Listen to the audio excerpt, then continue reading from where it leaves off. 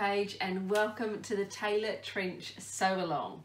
So we are going to, over the next week or so, make a trench coat. And what I want to do before we get started is show you what the Taylor trench is and what the options are so that you can pick which one you want to do. So um, this is one that I've made during the sew along. I have already recorded the videos and I'm doing this at the end even though you're seeing it at the beginning so that you can see what I've made which will help you hopefully in picking what options you're going to do. This is the basic trench coat. So this is the, um, the one that I've done to show you if you want to just follow along the most simple options. It's beginner friendly. There are some techniques in it where you'll need to go slowly and really follow along if you're on more of the beginner, sort of advanced beginner level. It's definitely not suitable for a novice. I would say if you haven't, if you've really hardly sewed at all, practice on, they've got loads of freebies on our website. Go on to Rebecca hyphen Page, that's P-A-G-E dot com, grab some of the freebies and practice with some of the simpler things first. But once you're confident, you can sew in a straight line, you can sew in a curve, you know how to put your, your needle down into the fabric, twist your fabric around and then carry on sewing so that you can get a nice sharp, um, sharp point on something. Once you can do that, you can do this coat. Just go along slowly. So for the ones out there, who, if you are someone out there who would like to do one that's simpler, um, and it's a lot less time consuming than the other option which I'll show you in a second. This is the one to do. Um, I have done this in a um, faux animal print. Um, it feels a little bit like velvet but it's not. Um, I don't really know what it is, I got it online somewhere. Um, and it has, uh, we don't have the front yokes so there I'll show you what the front yokes are in a moment but there's no front yokes on this one and when I turn around um, there's no back yoke on this one either. So this is just a plain back.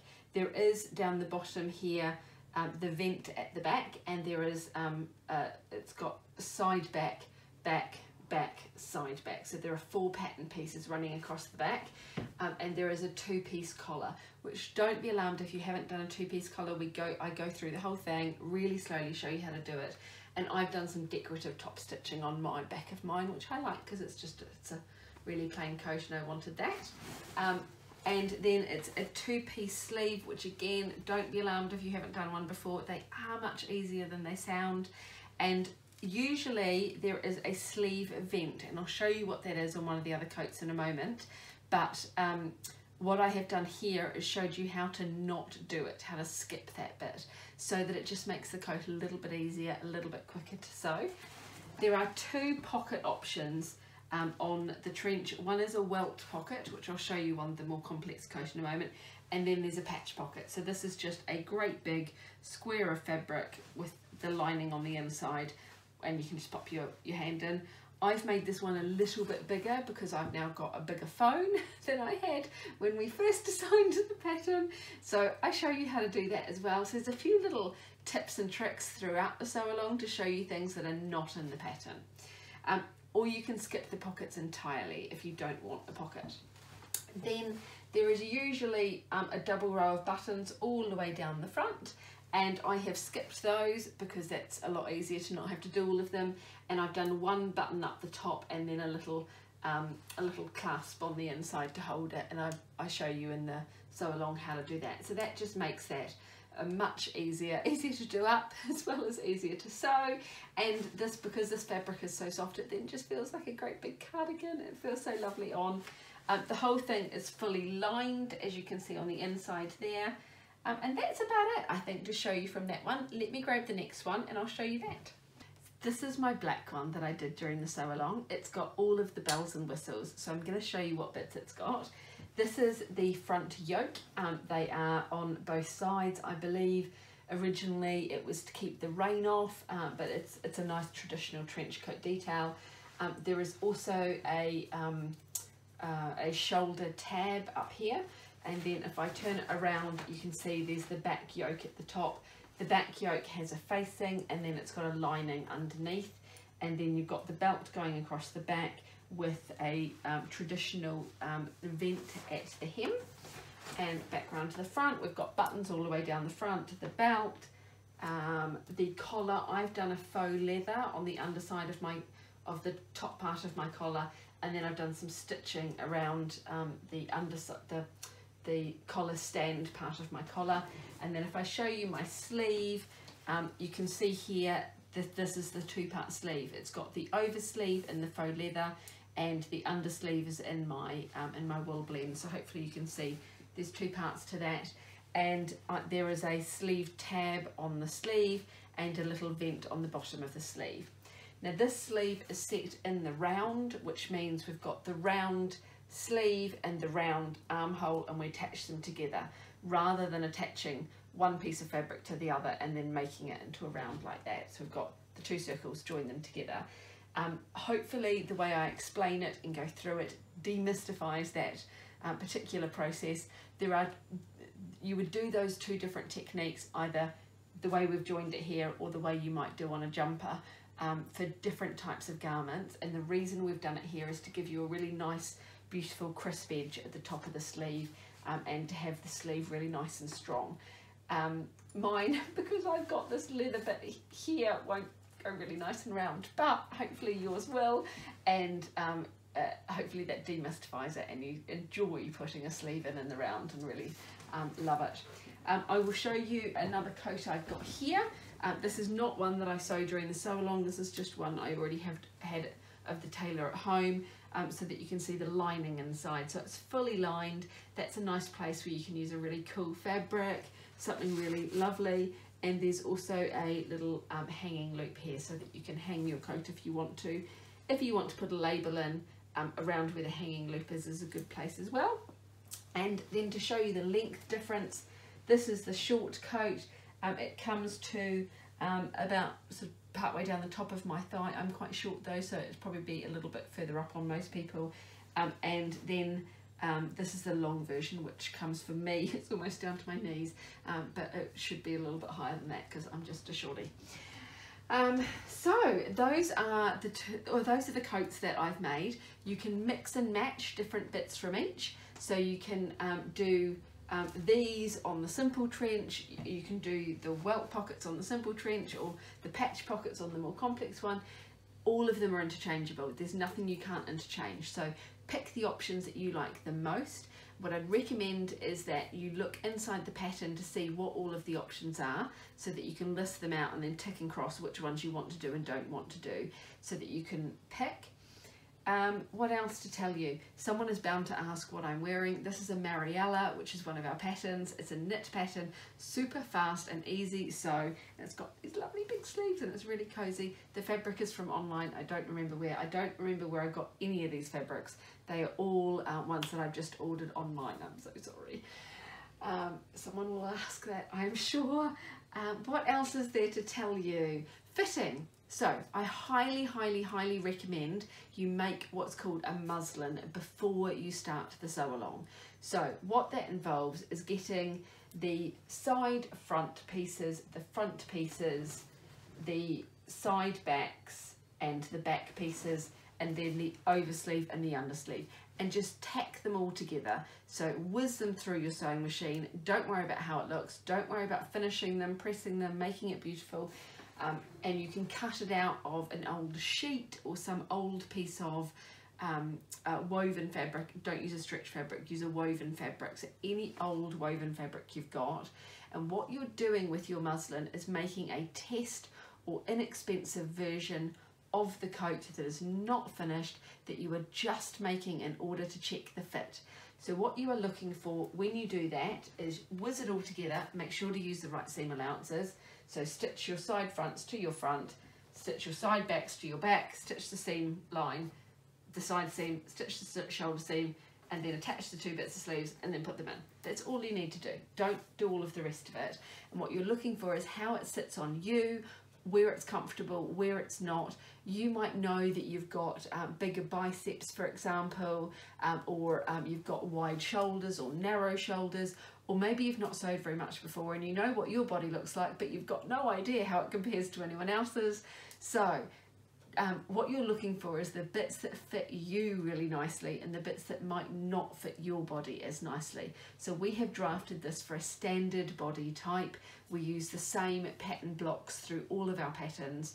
So um, uh, it's a pretty good guess if you've made one of our other coats before that if the armhole is too small, this one will probably be too small.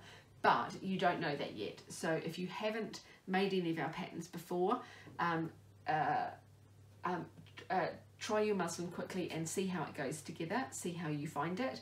You also might have things like a sway back, for example, and you don't want big wrinkles down the back of the coat.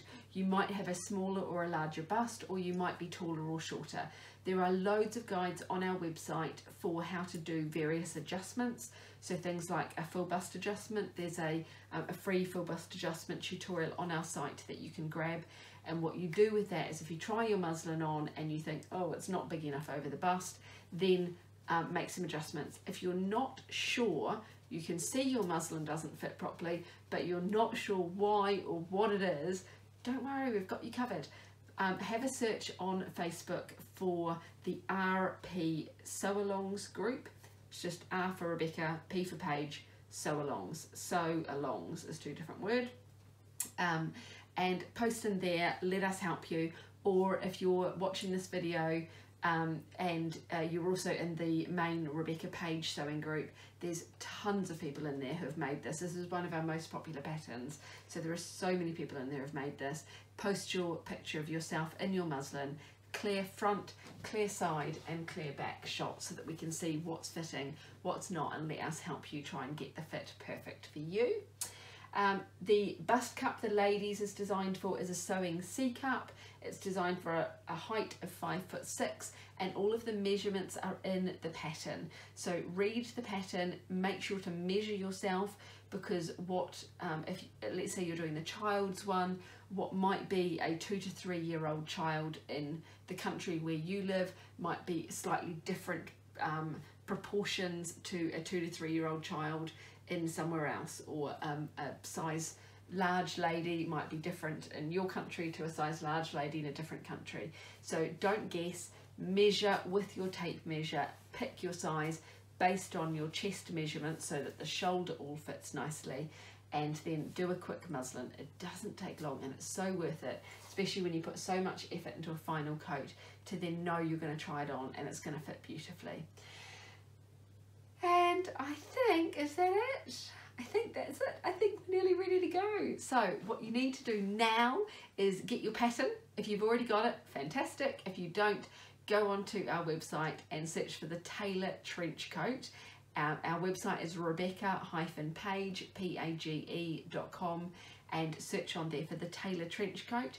Get your pattern, download it and print it out if you want to get the, you'll see there's three paper sizes when you print it out. One is A0, which is for a copy shop, so you can take that to a local printing store and get it printed out in great big sheets where you just cut around your pattern pieces and you're good to go. Or if you're in the US or Canada, you want to download the version that says US letter. You get all versions when you buy the pattern, but when you actually then look at your download list, which you'll get via email or you can get in your My Account area on our website. Um, the US letter is the size of paper that is most commonly used in the United States and in Canada. A4 paper is most commonly used in most of the rest of the world. So get the right paper size for you and then you'll be able to print it out using your printer at home and then get sewing.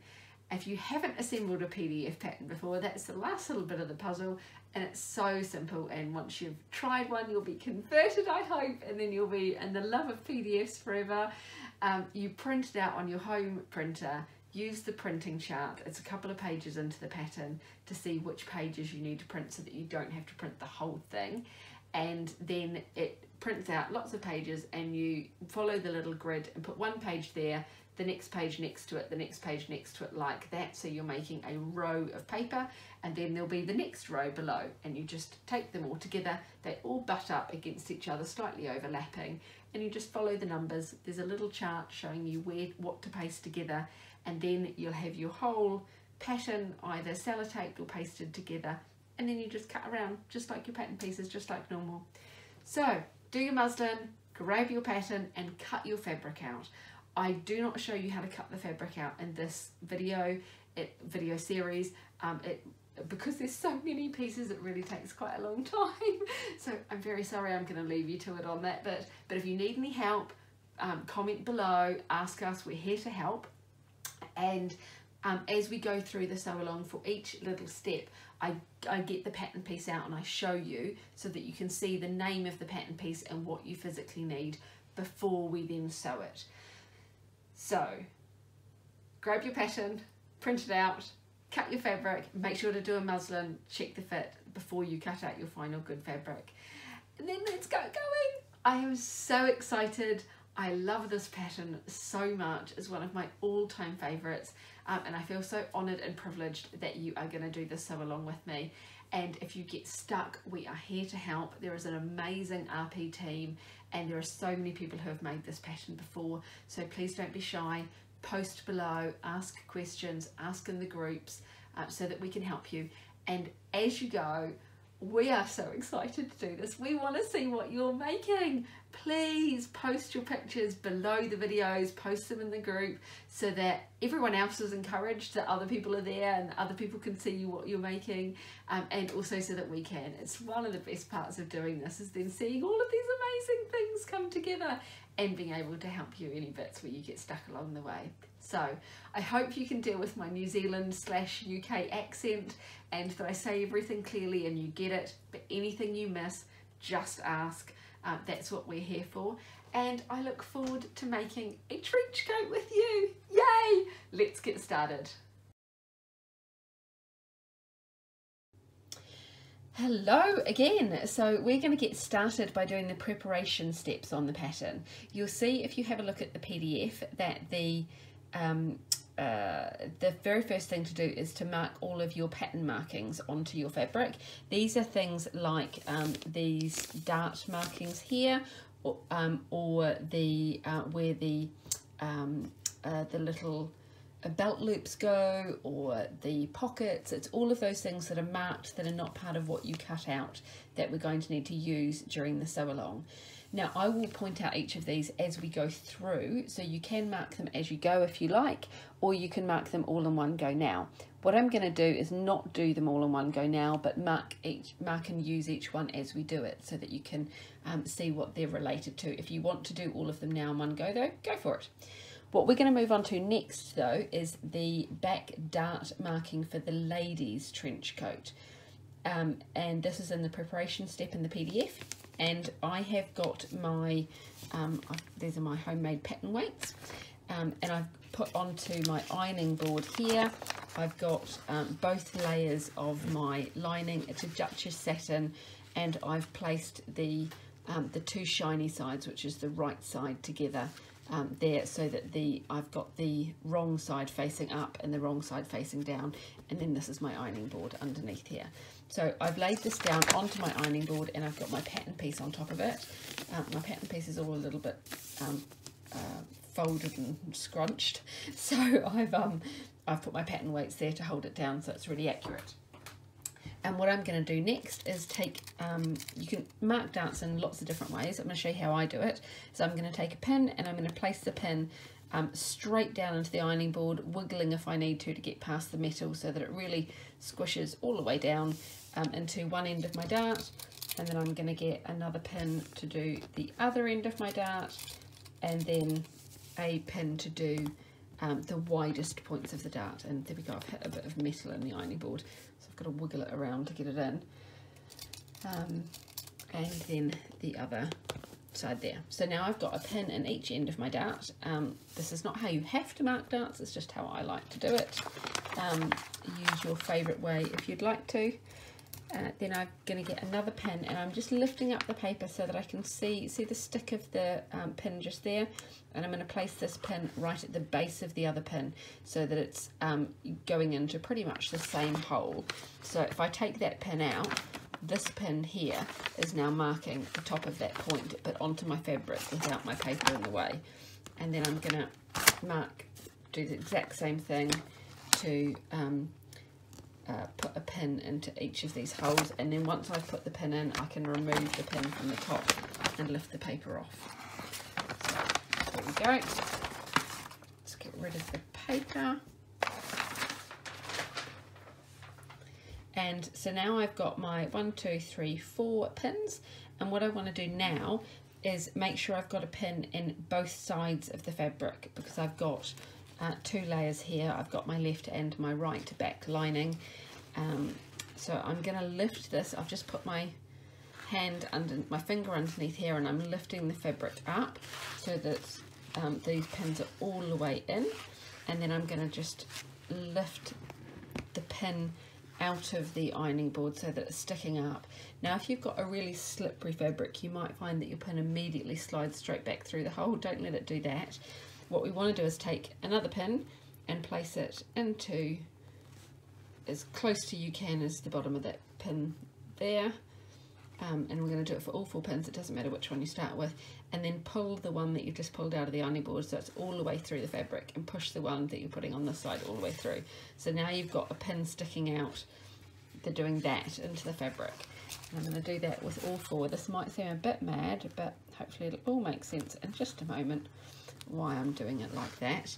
Now, if your pins start to slip through the fabric, um, what you can do is pull them back out a bit and just push them to the side. We're only interested in that first hole where the tip of the pin goes um, because what we want to do is then separate this so that you've got the, a pin marking the tip of the dart on one side of the lining and a pin marking the tip of the dart on the other side of the lining.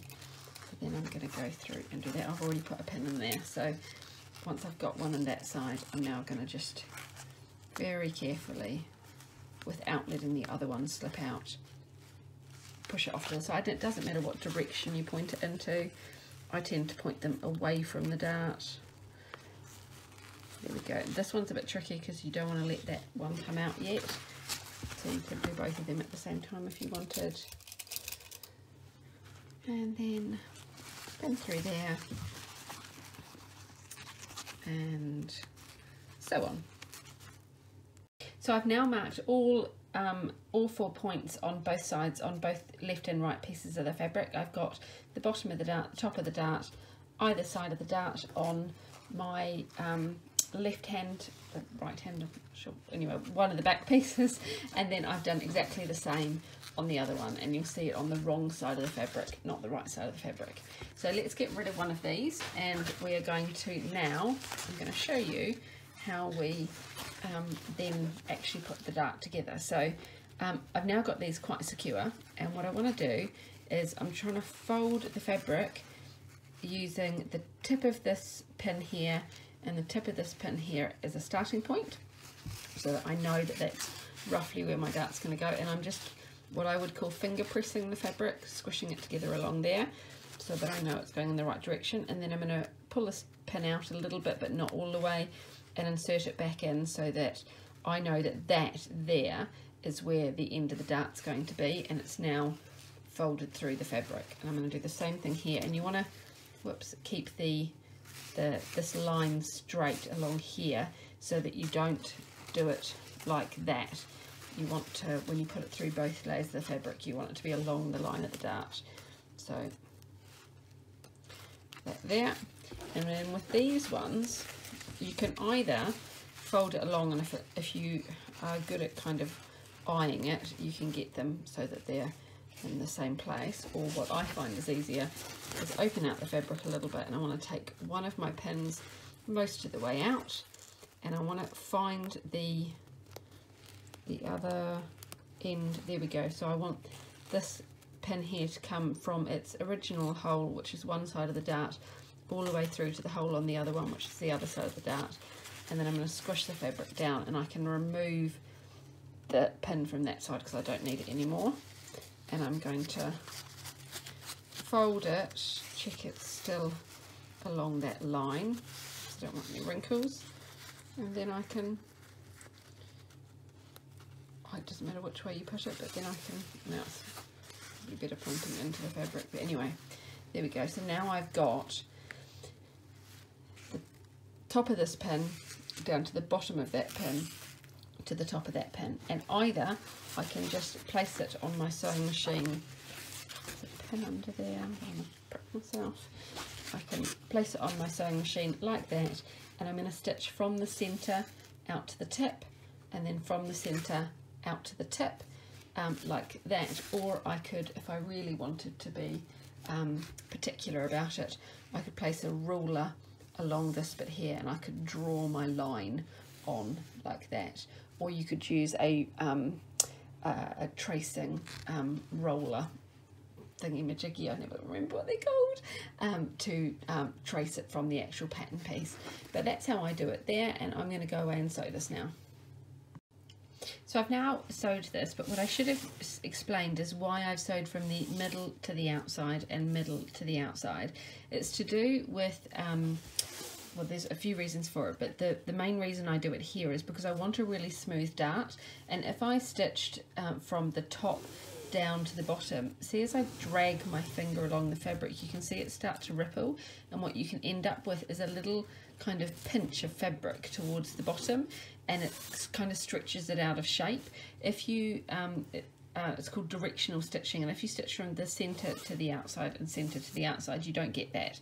So what I did was I stitched from the middle, and I didn't, I didn't do a back stitch, I just stitched um, I just started stitching and I left a bit of a trail here and then I stitched along to the end and I did not do a back stitch at the other end either and then when I started again in the middle going to the other end I went forward back a little bit over so I went over the same bit so that then secures the one that I've stitched from that side um, but with as little thread there as possible and then along to here and then I have not back stitched it at that end so now that the middle is secure, what I'm going to do is just trim my threads so that they are um, gone.